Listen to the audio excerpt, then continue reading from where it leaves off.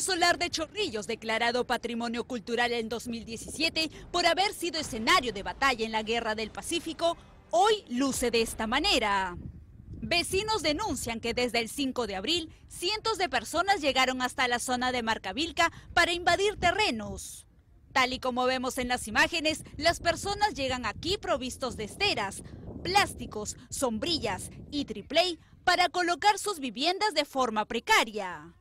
Vecinos, quienes por temor no declararon ante cámaras, indicaron que los invasores serían parte de las mafias de terrenos y que incluso los han amenazado si es que se quejan ante las autoridades. Sobre este tema, el ministro del Interior, José Hélice, no dudó en pronunciarse. Estamos este, previendo.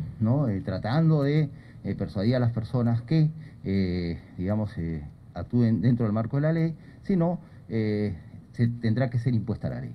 Al respecto, la Municipalidad de Chorrillos también emitió un comunicado en el cual indica que está solicitando a los invasores que respeten el lugar que es patrimonio histórico. Hay que recalcar que esta zona intangible abarca el Salto del Fraile, Marca Vilca y la playa La Chira. Aquí podemos encontrar monumentos como el Soldado Desconocido, el Planetario del Morro Solar, además de piezas arqueológicas de la cultura Ichma.